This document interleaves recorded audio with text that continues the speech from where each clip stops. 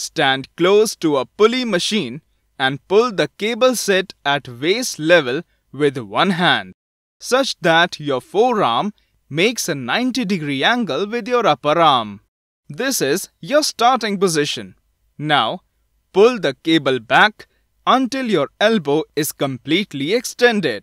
Wait for a brief pause and bring the cable back to the starting position in a controlled way. Breathe out when you pull the cable back and breathe in when you take it to the starting position.